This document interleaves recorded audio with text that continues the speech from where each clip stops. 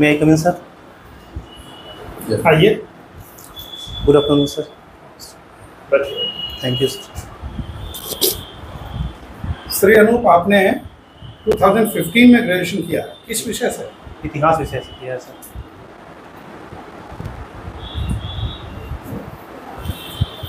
ये बताइए कि ईएसआई की परीक्षा जो आपने इस वर्ष पास की है ये तो काफ़ी समय हो गया 2015 आपका ग्रेजुएशन है।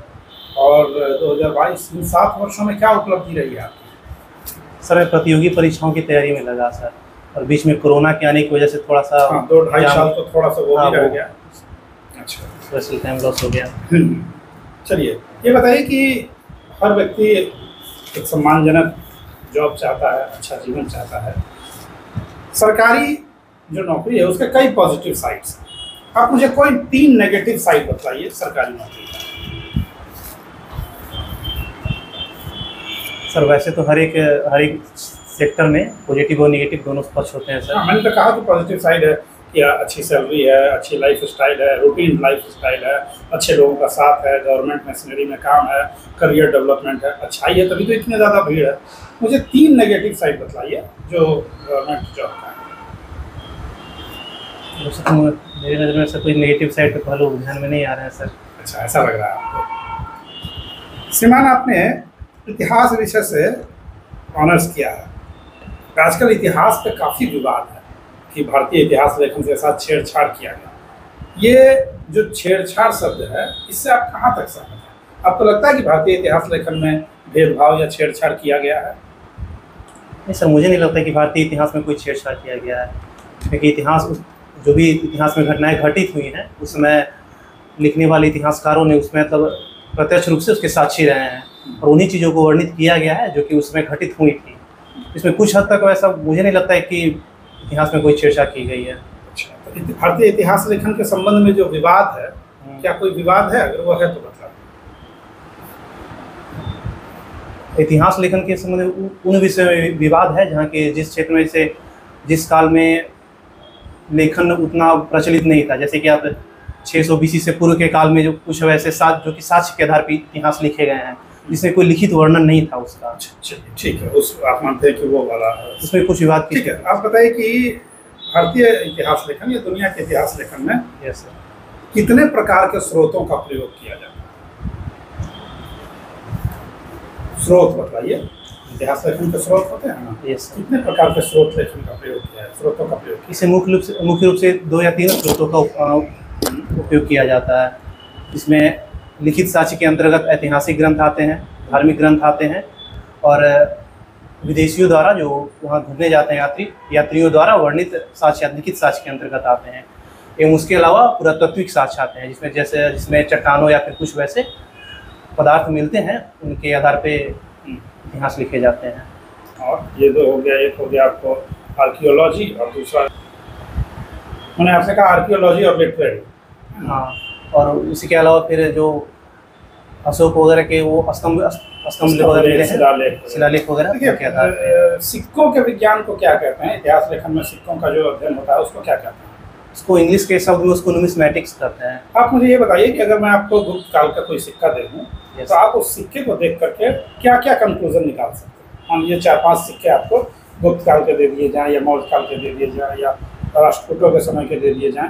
तो सिक्कों को देख करके आप क्या क्या कंक्लूजन निकाल सकते हैं इतिहास लेखन के संबंध सिक्कों को सिक्कों को देख के उस समय की वर्तमान परिस्थिति के आधार पर कुछ निष्कर्ष निकाला जा सकता है। जैसे कि उस समय कौन से द्रव्य प्रचलन में थे? किस जिस धातु के वे सिक्के बने होंगे, कौन से धातु प्रचलन में थे? उसमें की लेखन विधि क्या होगी? उसमें क्या मुहर जो उस पर अंकित होंगे चित्र वगैरह, उसके आधार पे क्या मुहर प्रणाली उस कितने विकसित होगी उस समय तक? इन सब साक्ष्यों सिक्कों के आधार पे इन सब साक्ष्यों तक हम पहुँच सकते हैं? उसका मिल्टिंग ढलाई की तकनीक ये भी एक बड़ी चीज़ है। क्योंकि सिक्का को तो ढाला जाता है ठीक है ना? और खास बात है कि किसी राजा के सम्मान में ये सिक्के जब जारी किए जाते हैं तो उसकी ईस्वी और उसके टाइमिंग दी गई होती है। आपने कहा कि इतिहास संबंधी कोई विवाद नहीं लेखन के संबंध में। ऐसा प्रायः देखा जाता है जैसे कहा जाता है कि गुप्त काल स्वर्णयुग था। लेकिन शुद्रक ने मृत कटिकम में कई आलोचनाएँ की है। तो कैसे आप कह सकते हैं कि विवाद नहीं होता है? इतिहास के संबंध में विवाद नहीं है, लेखन के संबंध में। आपने कहा कि विवाद वहाँ है जो साक्ष्य आर्कियोलॉजिकल प्राप्त हुए हैं। तो लेखन शैली तो विभिन्न, व्यक्ति बाई व्यक्ति वैरी करती है। ज़ाहिर सी बात है, जो राजकीय संरक्षण में जो लेखन करेंगे जो भी लेखक वो राज्य की राज्य को प्रमोट करेंगे। और जो राज्य के बाहर रहेंगे तो आप कैसे कर सकते हैं?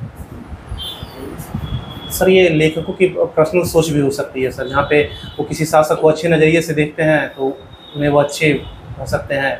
और जो उनके विरोध में होंगे तो वो अगर वो विरोधी कवि होंगे तो उनके निगेटिव जैसे कई तरह की सामाजिक दशाएँ जो राज परिवार होते थे उनके पास नहीं पहुँच पाता था। तो जो सामान्य जनजीवन के जो लेखक होते थे वो सामान्य जनजीवन के चित्रण को दर्शाते थे Yes. जैसे समाज कितने भागों में बटा हुआ है जैसे अछूत प्रणाली है या नहीं है विकसित है या नहीं है जातिगत व्यवस्था क्या है समाज का वर्गीकरण में स्त्रियों की दशा क्या है दलितों की अवधारणा क्या है तो इन सब बातों पे तो हमेशा विवाद रहा है और अभी वर्तमान में आधुनिक युग में लेखन, लेखकों की शैली पर विवाद हो रहा है। आप कौन कौन से विवाद हैं जो बता सकते हैं? जो इतिहास की जो ले, इतिहास से जो प्राप्त लेखकों के साक्ष्य मिले हैं, उनमें कई विवाद हैं। जैसे कुछ में भारतीय इतिहास को कुछ लेखकों ने सात भागों में विभाजित किया है, कुछ जबकि धार्मिक ग्रंथ, इतिहास के जो धार्मिक ग्रंथ है, उनमें भारतीय इतिहास को चार भागों में, चार भागों में विभाजित किया गया है। तो ये विवाद हैं। अच्छा, लेखकों आप बताएँ कि अगर आपका चयन ईएसआई के पद पे हो जाता है तो इतिहास विषय का क्या योगदान होगा आपके पद पे कार्य करने के दौरान?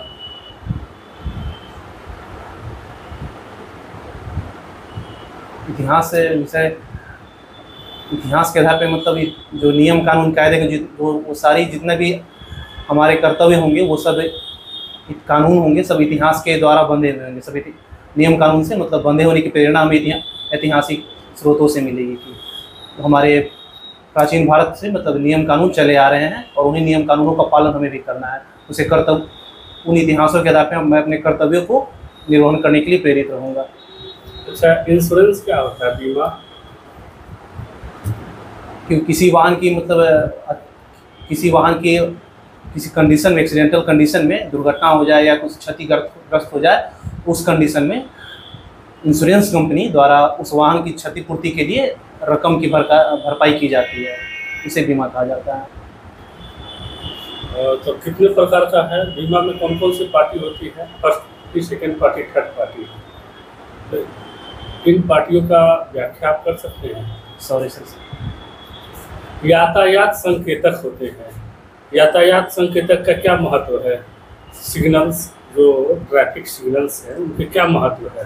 तीन चार महत्व आप बताएँ। ट्रैफ़िक सिग्नल्स गाड़ियों को नियंत्रित करने के लिए बनाए जाते हैं जगह जगह पे लगाए जाते हैं। कब कब किसी भी गाड़ी को कब चलना है, किस गति से चलना है, कहाँ पे रुकना है, ताकि किसी भीड़ भाड़ वाले क्षेत्र में या किसी भी क्षेत्र में कोई दुर्घटना ना हो, इसलिए ट्रैफ़िक सिग्नलों को जगह जगह पे लगाए जाते हैं। ट्रैफ़िक सिग्नल सिर्फ़ कलर वाले होते हैं या और टाइप के भी सिग्नल्स होते हैं? ट्रैफ़िक सिग्नल्स लाइट के साथ साथ संकेतक के रूप में भी होते हैं। कुछ संकेतक के बारे में बताएँ जो उनका कार्य है या उससे लाभ होता है? जैसे किसी भी रेलवे क्रॉसिंग के पहले एक रेलवे लाइन की एक संकेतक बनाई जाती है। उसका अर्थ हुआ वहाँ उसके आगे आप रेलवे क्रॉसिंग है तो अपने वाहन को आप उस गति में नियंत्रित गति में ले जाएँ। किसी भी स्कूल के आगे स्कूल का संकेत बना होता है। हरे रंग की पट्टी पे वाइट कलर का स्कूल का निशान बना होता है। इसका मतलब कि वहाँ से बच्चे क्रॉस कर सकते हैं अतः हमें चालक को सावधानी पूर्वक वहाँ से गाड़ी को चलाना है।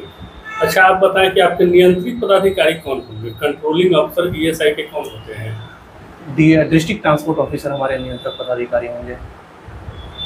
यानी कि ये जिला कैडर का पद होगा। यस सर तो आपसे ऊपर के दो पद और आपसे नीचे के दो पद जो पद सोपान में है उनके बारे में बताएँ। जो ईएसआई का पद है जिस पर आपका चयन होगा तो उस पद से दो ऊपर के पद और दो नीचे के पद।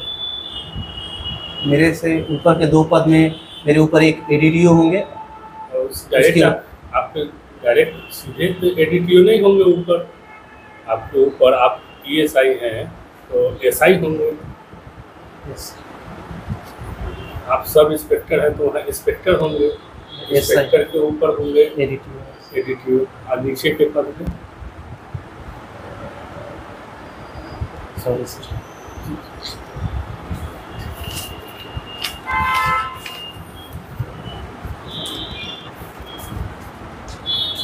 अच्छा मुझे एक क्वेश्चन ये बता दीजिए कि आप हिस्ट्री से ग्रेजुएशन किया आपने। यस नरम दल और गरम दल मॉडरेट और लिबरेट यस में क्या अंतर था? क्या उनके विचारों में अंतर था मुझे ये बताइए कांग्रेस के अंदर नरम दल और गरम दल दो तरह के दल बने। शुरुआत में जब कांग्रेस का गठन हुआ अठारह सौ ईस्वी में उस समय शुरुआती के दौर में 1885 से लेकर 1905 ईस्वी के बीच कांग्रेस के अंदर नरम दलों का वर्चस्व रहा जिसके अंतर्गत दादा भाई नेहरू जी गोपाल कृष्ण गोखले जैसे नेता रहे। इन लोगों का मानना था कि किसी भी मतलब किसी भी चीज़ की मांग हमें संवैधानिक ढंग से करनी चाहिए। शांतिपूर्वक संवैधानिक ढंग से हमें अपनी मांगों को रखनी चाहिए। कोई हिंसक कार्रवाई या कोई उग्र कार्रवाई हमें नहीं करनी चाहिए। और फिर 1905 से लेकर 1919 तक का काल। ये काल उग्रवादियों का नर, गरम दल का काल का रहा। एक बात बताइए आप अगर उस काल में होते कांग्रेस के काल में तो आप नरमपंथी नेता होते या गरमपंथी? सर मैं नरमपंथी दल का नेता होता सर। अच्छा ये मुझे बताइए कि किस शासक दिल्ली सल्तनत के किस शासक के समय गुप्तचर विभाग का निर्माण हुआ गठन हुआ? तो बता सकते हैं? जो इन्वेस्टिगेशन डिपार्टमेंट होती है आज हम देखते हैं सीआईडी वगैरह जो भी है कि कौन से दिल्ली सल्तनत के किस शासक के काल में इसका इस विभाग का निर्माण हुआ नहीं बता सकते। अच्छा क्रांतिकारी और स्वतंत्रता सेनानी में क्या अंतर? रेगुलेशनरी और जो. फ्रीडम फाइटर्स है उनमें क्या अंतर क्रांतिकारी लोग अपनी मांगों मांगों की अपनी मांगों को मतलब उग्र तरीके से रखते हैं क्रांतिकारी लोग। और स्वतंत्रता सेनानी होते हैं किसी किसी भी तरह से अपनी आज़ादी के प्रति वो उग्र उग्र नहीं होते हैं। बस विधिवत तरीके से अपनी स्वतंत्रता के लिए वो संघर्ष करते हैं। तो क्या क्रांतिकारी जो होते हैं वो स्वतंत्रता सेनानी नहीं होते? स्वतंत्र वो वो भी स्वतंत्रता सेनानी होते हैं सर लेकिन वो अपनी तरीकों को उग्र तरीके से रखते हैं। नियम का- कायदे के से बाहर अच्छा अभी बिहार के किस ज़िले में सेकेंड जू स्टैब्लिश्ड होने जा रहा है? पहला जू तो आपने देखा है। कहाँ पे है पहला जू पटना में। और सेकेंड जू कहाँ पे स्टैब्लिश अच्छा भारत का सबसे बड़ा स्वर्ण भंडार बिहार के किस ज़िले में मिला? जमुई में जमुई में मिला है।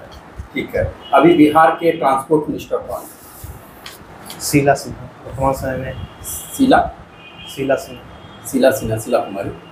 है। अगर आपको बिहार का ट्रांसपोर्ट कमिश्नर बना दिया जाए परिवहन आयुक्त। तो आप क्या क्या से इम्प्रूवमेंट करेंगे ट्रांसपोर्ट डिपार्टमेंट में? एज ए ट्रांसपोर्ट कमिश्नर में से बताइए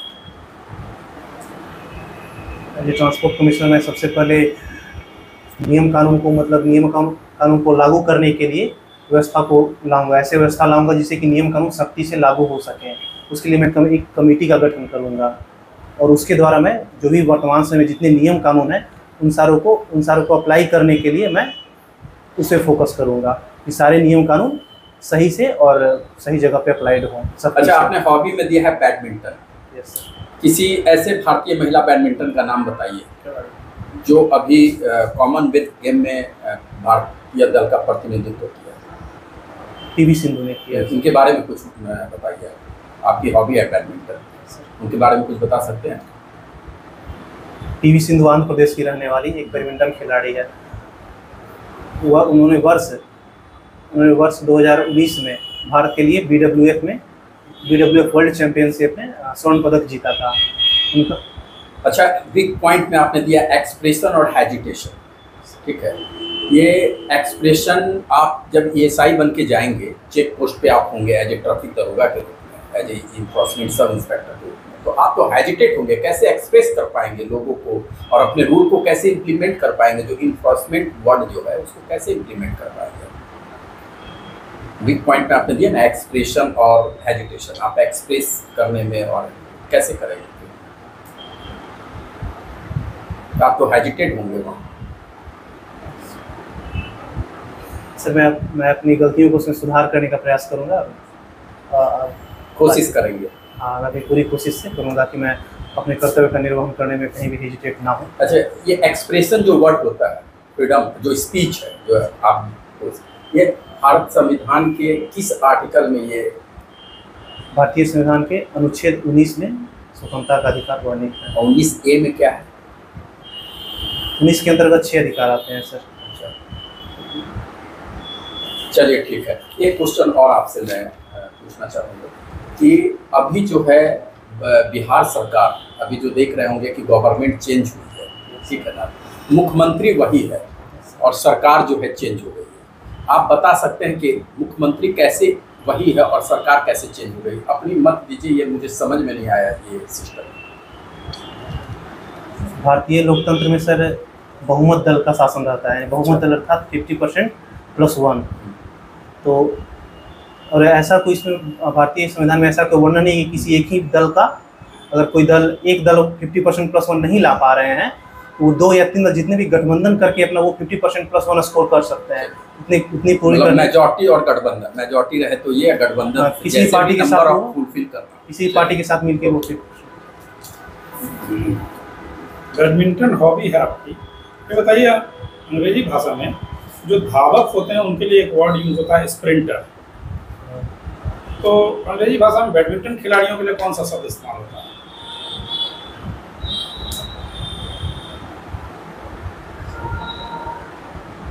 सटलर? आपने सुना है ये वर्ड हाँ सटलर। सटलर वर्ड सही है क्या बैडमिंटन खिलाड़ियों के लिए? आपने सुना है ऐसा प्रयोग होता है? सटलर का प्रयोग सुना है मैंने सर। ठीक है। अच्छा आप बैडमिंटन खेलते हैं तो शॉर्ट सर्विस लाइन की डिस्टेंस कितनी होती है? थोड़ा बताइए शॉर्ट कोट वोट में और शॉर्ट सर्विस लाइन की डिस्टेंस कितनी होती है? एक तो लास्ट वाली लाइन होती है और एक नेट से नज़दीक वाली लाइन होती है। तो आई होप कि शॉर्ट सर्विस लाइन क्या होता है? मुझे मुझे पूरे फ़ील्ड की जानकारी है सर शॉर्ट सर्विस लाइन की जानकारी नहीं है शॉर्ट सर्विस लाइन होती है जो नेट से जो लाइन होती है, जब सर्विस किया जाता है अगर नेट के उस पीरियड में आ जाती है तो उस रीजन को शॉर्ट सर्विस अच्छा ये बताइए, अभी बिहार में एक जातीय जनगणना का था कि पहली बार सत्ता पक्ष और विपक्ष एक साथ हो गए थे अब तो जो सत्ता पक्ष है, वही विपक्ष में चल, के साथ, एक साथ हो गए। तो बताइए कि बिहार में जो जातीय जनगणना के लिए लगभग 400 करोड़ के आसपास आवंटन किया गया, जैसा समाचार पत्रों में खबर है। मुझे ये बताइए कि अंतर्जातीय विवाह के लिए सरकार प्रोत्साहन राशि देती है पच्चीस हज़ार, पचास हज़ार या लाख रुपए तो ये बताइए कि जातीय जनगणना जैसे मुद्दों पर यदि किसी व्यक्ति का अंतर्जातीय विवाह है, मान लीजिए लड़का किसी अन्य जाति का है, लड़का ए जाति का है, लड़की बी जाति की है, सपोज़ कीजिए, ठीक है। तो संतान की जाति में कौन सी जाति लिखी जाएगी? संतान की जाति है पिता की जाति लिखी जाएगी तो फिर अंतर्जातीय विवाह की प्रोत्साहन राशि का क्या? तो फिर अंतर्जातीय विवाह की जो प्रोत्साहन राशि दी गई फिर वो कहाँ रहा? फिर तो बालक जो है वो तो पिता की जाति का हो गया। अब ये कहाँ तक उचित है? चलिए मुझे थोड़ा सा ये बताइए कि जातीय जनगणना जो है उससे कहाँ तक आपको लगता है कि बिहार लाभान्वित होगा? या फिर बिहार की जो राजनीति होगी फिर वो जातीय समीकरण की दिशा दे लेगी जातीय जनगणना बिहार में बिहार की सरकार द्वारा जातीय जनगणना कराने का मुख्य उद्देश्य यह है कि इसका लाभ यह होगा कि किस वर्ग को कितना कितना पिछड़ापन है कितना उसकी वो है कितना किस अपने किस आमदनी आय के स्तर पर किस शिक्षा स्तर या फिर आर्थिक स्तर में किस स्तर पर है उसी के हिसाब से फिर उनको सरकार उन, उनके लिए प्लानिंग करेगी किस स्तर पर उनको बढ़ावा दिया जाए। तो क्या आपको आप समर्थन में है इस जातीय जनगणना जी हाँ सर जातीय जनगणना सही है। सर सरकार के द्वारा लिया गया फैसला सही है। अच्छा थैंक यू सर आ जाइए वापस फीडबैक के लिए। आइए। बहुत हेजिटेट हो रहे थे जी आप। थोड़ा सा दम रखिए। दाढ़ी वाड़ी बना करके ठीक थोड़ा है सा- के बैठिए। तन के सीधा होकर बैठिए। आर्मी मैन की तरह बैठिए एकदम है ना? और दूसरा बात है कि जब आपको इंटरव्यू बोर्ड कोई बात बता रहा है तो आपको थैंक यू सर कहना चाहिए। हम लोग इसीलिए बीच में कैंडिडेट को बता देते हैं। ताकि सुने कि देखे कि वो कुछ बताने पर थैंक यू सर कहता है। जैसे इंटरव्यू बोर्ड आपको आगे बढ़ के कोई बात बतला रहा इन्होंने पूछा कि शॉर्ट सर्विस लाइन क्या है। मैंने आपको एटलीस्ट शॉर्ट सर्विस लाइन की परिभाषा बताई, ठीक है? हो सकता है वो गलत हो, परिभाषा सही हो, लेकिन आपको कहना चाहिए था थैंक यू सर ठीक है और बहुत समय मत लीजिए, यदि आप किसी चीज़ को नहीं जानते तो आप कहिए कि सॉरी सर रिकॉल नहीं कर पा रहा है ना? बहुत ज़्यादा टाइम मत लीजिए, है ना? इंटरव्यू बोर्ड के पास इतना टाइम होता नहीं। और कई बार इंटरव्यू बोर्ड दो तीन सवाल एक साथ पूछता है। ये देखने के लिए कि आप तीनों सवाल को एक साथ पकड़ पाते हैं। दो सवाल का जवाब देकर चुप तो नहीं हो जाते। मेरे ख्याल से इतिहास के मामले में विवाद है। इतिहास लेखन की चार विचारधाराएँ एक मार्क्सवादी विचारधारा, एक साम्राज्यवादी विचारधारा। पहले है साम्राज्यवादी जो अंग्रेज़ों ने लिखा। उसके बाद मार्क्सवादी विचारधारा, राष्ट्रवादी विचारधारा और सब अल्टर्न विचारधारा। तो ये चार विचारधाराएँ हैं। राष्ट्रवादी विचारधारा जो है मानती है कि शिवाजी जो थे, वो एक स्वतंत्रता सेनानी थे। मार्क्सवादी विचारधारा मानता है कि जो शिवाजी या महाराणा प्रताप थे, वो केवल अपने क्षेत्र के लिए लड़ रहे थे। सब अल्टर्न विचारधारा मानती है कि गरीब तबके का इतिहास ज़्यादा लिखिए, आदिवासी का मतलब राजा का इतिहास, देश का इतिहास नहीं है। और साम्राज्यवादी इतिहास ये मानकर चलता है कि अंग्रेज़ों का श्रेष्ठता था और भारत को उन्होंने उनके इतिहास से परिचित कराया ठीक है ना? तो ये चार इतिहास लेखन में विवाद है। ठीक है आप थोड़ा और अध्ययन कीजिए। थोड़ा सा इम्प्रूव कीजिए अपने कॉन्फिडेंस लेवल ऐसे कोशिश तो कर रहे हैं। देखिए थोड़ा आपका क्रांतिकारी आप बोल नहीं पाए। जो लॉ वायलेट करके अपनी डिमांड रखता है वो क्रांतिकारी है। जो लॉ वायलेट नहीं करे वो क्या है? स्वतंत्रता के लिए आप संघर्ष कानून के मर्यादा में भी रह के कर सकते हैं सत्याग्रह। कानून का भंग हुआ उल्लंघन हुआ वो क्या होगा क्रांतिकारी। क्रांति का मतलब ये व्यवस्था में परिवर्तन। और आपने कहा सीधे शीला शीला कुमारी या शीला सिन्हा शिला सिन्हा बोल शिला कुमारी। आपको बोलना चाहिए कि मंत्री का नाम पूछना कोई क्वेश्चन नहीं है लेकिन उनको बोलना कि आप कैसे बोलते हैं ये देखा जाता है। उसी में आपका दो नंबर कट जाएगा। माननीय माननीय श्रीमती शीला कुमारी। ठीक है? और दिल्ली सल्तनत बलबन जो शासक थे ना उनके समय में गुप्तचर विभाग आया। बलबन। हाँ, बलबन। दीवाने मुस्कुरा दीवाने पंगजान। हाँ, दीवा दीवाने मुस्कुरा अर्जे था दीवाने। अर्ज़ ये सब का जो हुआ था यही सब उसका पाठ। अरे दरअसल ये था ना इल्तुतमिश के समय जो एकता व्यवस्था थी ना अमीरे तो को बलबन ने देखा कि भाई अमीरों के बीच षड्यंत्र हो इसलिए अपना तंत्र को आंतरिक रूप से। चौगान में तो चालीस साल चौगान व्यवस्था का सदस्य। हाँ, हाँ, हाँ। चौहान को तो चौहान चौहान नहीं दिया था। चालीस साल। चहलगाम। चहलगाम व्यवस्था को तो खत्म कर दिया था। ठीक है आप थोड़ा इतिहास को अच्छे से पढ़ लें होम टाउन को करंट अफेयर्स को। आपने कहा जातीय जनगणना तब कहा कि सरकार के पास अच्छे आंकड़े होंगे और निर्णय लेने में सुविधा होगी। ठीक है? और दूसरा आप कह सकते हैं कि हाँ सर, जातीय जनगणना से राजनीति में जो जाति की भूमिका है, उसको भी बढ़ावा मिल सकता है, ये इसका एक नकारात्मक पक्ष है। मिल सकता है। खिड़की खोलने से हवा भी आ सकती है, रोशनी भी आ सकती है, धूल भी आ सकती है। खिड़की तो खोलेंगे ना। समझ में आया बात को? तो ऐसी भी संभावना है। आप अपने विचार को एकदम संतुलित रखिए। ठीक है, आप जा सकते हैं। Thank you thank you